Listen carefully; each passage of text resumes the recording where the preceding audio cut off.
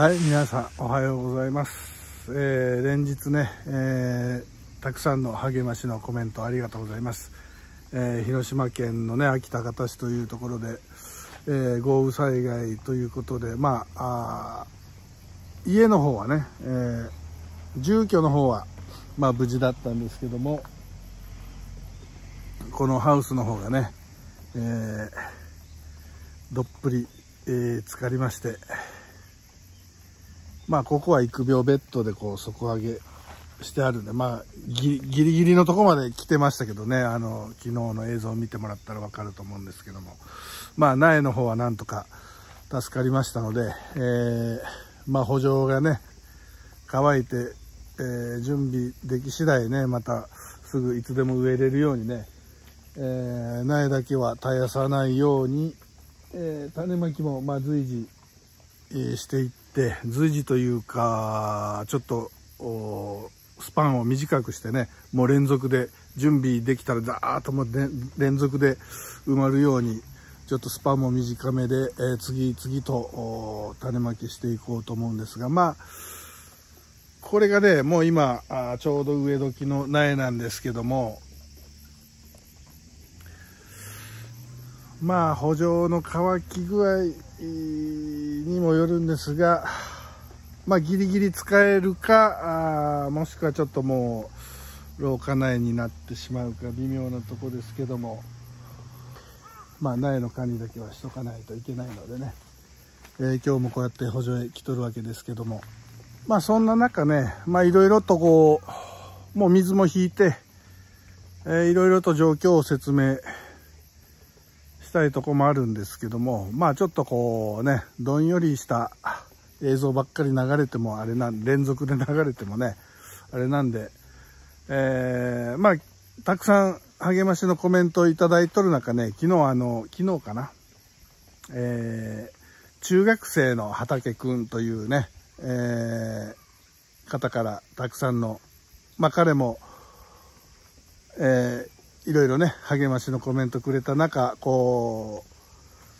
う何回かこう返信とのやり取りがあってそして最後の方にね、えーチンゲン菜、えー撒いてみたんですけども発芽率が悪いのでどうしたらいいですかという質問があったんでねもう今日はちょっと彼の質問に答えてみようかなというふうに思います、えー中学生の畑くんあのー彼もなんか YouTube やっとるみたいでねちょっと覗いてみたら、えーチャンネルがあってこう YouTube やっておられましたのでねどうか皆さん中学生の畑くんのチャンネル見てみて登録してみてあげてください。中学生でね農業好きなんだと思います、えーで、えーそうそう。おばあちゃんがチンゲン菜の漬物美味しい系植えてみてもいいよということでやってみたんだけどいうことだったと思うんですけどね。チンゲン菜あの漬物バッチリ美味しいね。キムチでもいいですし浅漬けでも最高。あの浅漬けの素でシャッとすぐできますからね。めちゃめちゃ美味しい漬物できますんでぜひやってみてほしいんですけども。この夏の発芽率というのは、えーまあどういう波臭状況かというのにもいろいろ左右されるんですけどもあのーまあ畑にそのまんま巻くのかあいろいろ、まあ、やり方はあるんですがおそらくあの中学生の畑くんのチャンネル見たら、え白菜かブロッコリーをセルトレイでハッシュしていた動画があったのでおそらくセルトレイでチンゲン菜もやってみたのかなと推測してそれでちょっと説明してみますけどもヘリコプターがいろいろ飛んでます。さっきからねヘリコプターやら消防団の、えー車やらぐるぐる回ってここの幹線道路はねあの通行止めになっとったりして、まあ、結構いろいろ被害が出てるみたいですけども。はいそれはまあさておきですね、えーセルトレイでやる場合はまず、えーしっかりその育苗梅土土にねそのこの種まきの梅土に種をまく前にしっかり水が含んでいるか。あ、まあ、どういった土を使っているかわからないんですけども、まあ、ホームセンター等で買った市販の種まき用のバイドとかですと乾燥していてねあの種まきハ種して覆土をかけた後に上から水やっても弾いて、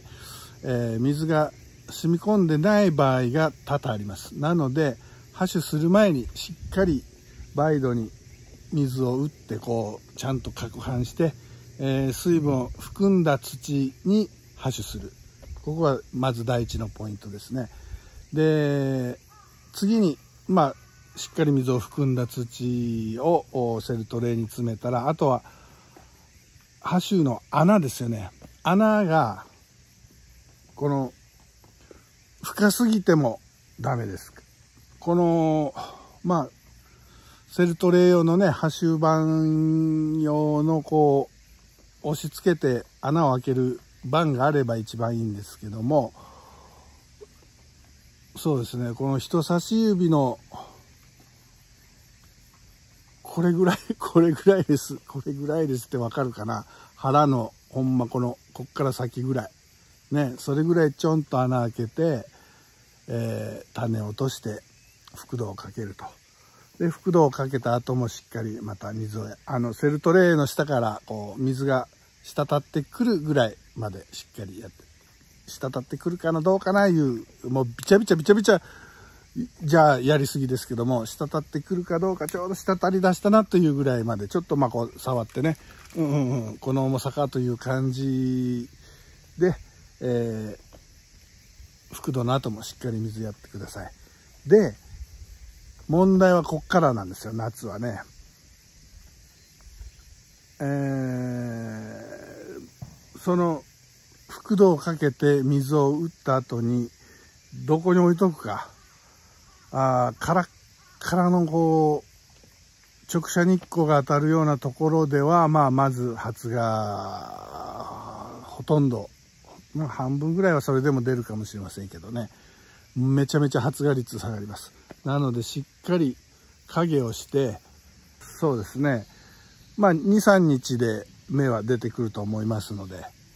でまあずっと影しっぱなしだとあの以前の動画でも言ったようにちょっと徒長苗になるのでやっぱりこう芽を切った後は芽が出た後はあ影にしたり日に当てたりとこういろいろ工夫が必要なんですけども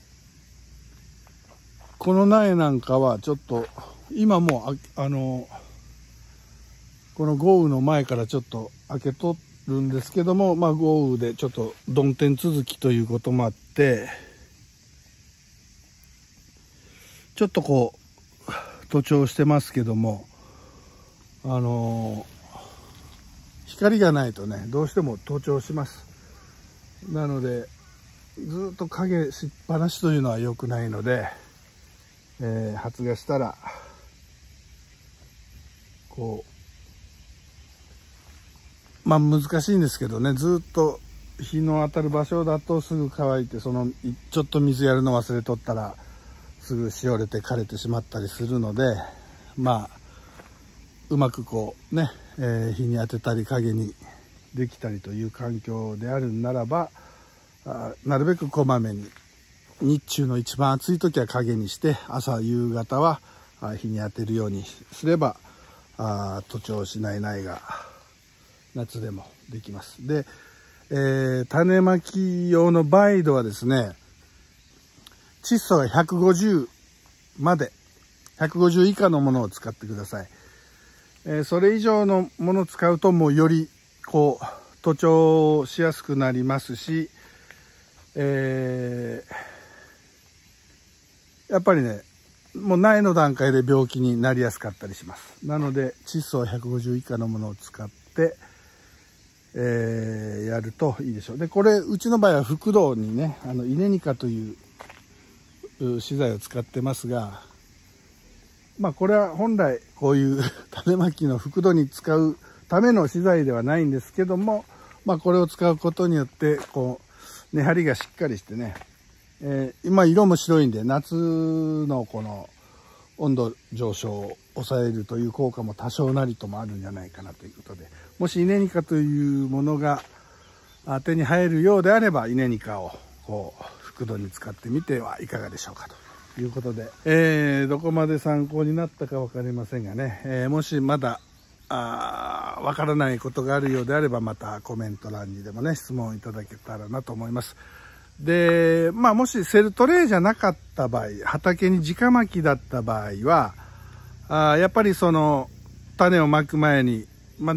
できたら前の晩ぐらいにもうその種をまくところにちょっと水を打っておいて、えー、湿らせておいて次の日のに、えー、巻くぐらいの感じででそれもやっぱり巻いた後にしっかりね影をしてで、まあ、直畑に直巻きの場合この覆土との深さがねああの均一になりにくいので、えー、そこがやっぱり発芽率に影響してきたり苗の揃いにね影響してくるので、まあ、なるべく畑を均等にして、えー、直巻きでしたらそういったところも気をつけてみてはいかがでしょうかと。いうことで是非ね美味しいチンゲン菜作って美味しい漬物もチンゲン菜の漬物も作ってね、YouTube のあのー、中学生の畑くんの YouTube でアップしてみてください。応援してますので。えー、ね中学生から農業に関心があるということは将来まあそのまま農業しようと思うとるかどうかは分かりませんけどもあの、まあ農業やるにしてもまだまだ中学生なんでもっともっとねいろんなことを経験した方がいいです。あのまあもちろん農業好きなことを突き進むのはっていうのはすごくいいことなんですけどもより自分が好きなことをこう極めるためにも自分が興味がないことや普段関わらないことをにちょっとアンテナを張っておくというか、そこをあえて経験するというか、よりたくさんのことを経験することによって、えー、本業にそれが必ず生きてくるし、えー、自分独自のものがね、生み出せたり、いろんなアイデアがひらめいたりするんでね、是非もう幅広くいろんなことを経験してください。もう、ね、今から、まあ、中学生ということだったら今からま受験やなんやいろいろね、え、学校の先生やいろんなところでいろんなことがあると思いますけども、えー、悩んだ時にはあの僕のチャンネルに コメントくれればあいろいろね、えー、お返事できるかと思いますので、えー、義務教育もね、え勉強なかなか僕も勉強嫌いだったんで勉強大変ですけどもあのでもね勉強はした方がいいです。これは、えー、まあ自分が行きたい高校へ行くためね試験を乗り越えるためはたまたその次の大学を目指すんであれば大学に入るため試験をクリアするための勉強というのもまあもちろんそこもまああるんですけどもそうでだけじゃやっぱりねなかなかモチベーションっていうのは続かんですからね。勉強好き嫌いがあるんで。そうじゃなくて勉強がなぜ必要かというのは結局脳みそを鍛えるんですよね。脳みそ。国語なら国語の脳みそ。数学なら数学の脳みそ。英語なら英語の脳みそ。社会。ね歴史。理科なら理科の脳みそ。各分野で脳みその使い使い方が違うんですよ。でそのあらゆる脳の回路を鍛えるという意味で、えー、勉強というのは大事なんです。なので、これがテスト、その勉強をたくさんしてテストの、まあ、点はいい方がいいですけども、そこが問題じゃないですよ。点がいいか悪いかじゃなくて、そのために、どんだけ脳を動かすか、ね、鍛えるか、この脳の動きを鍛えるかというのが大事なんで、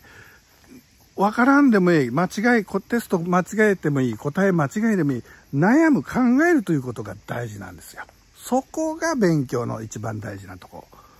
で、点数低くても、そこで放棄したらダメですよ。もうわしゃわからんけ、言って白紙で出すようなことじゃダメですけども、わからんなりに一生懸命考えてみる、ひねってみる、うーん、いう、そういう脳みその鍛え方していけば、必ず大人になって、えー、何かの問題に直面した時にね、えー、いろんな脳の回路がいろんなとこからこうつながってシュパッとこうひらめきとかアイデアとか決断とか答えというのがね生み出せるんであのテストの点なんかはね気にせずにまあ気にしとるかどうかわからんですけどね。実はすごい優等生でめちゃめちゃ点数いいかもしれませんけども。それはそれで素晴らしいんですけども。じゃないとしても勉強嫌いでもとにかく勉強に向き合って一生懸命悩む考える頭を脳も働かせるというそこがね一番大事なことなんでね是非いろいろこれからね大人になるまでいろんなことがあるでしょうけど若いということは素晴らしいことなんでね。何でもできます、えー、このおじさんも51今年52になりますがそれでもまだまだ何でもやろうと思ってね頑張っておりますので、ね、まだまだあ若い者には負けんぞという気持ちで頑張りますのでね是非とも頑張っていただきたいということで、えー、今日はこの辺で終わりにしときましょう。またあのこのハウスの様子なんかはねまた明日にでもいろいろとご紹介していけたらなと思っておりますので、えーご興味のある方は是非見ていただいてチャンネル登録の方よろしくお願いします。ということで、えー、今日はこの辺で失礼いたします。それでは久しぶりにそれではまた明日。ハッピーチゲ祭やったるでい。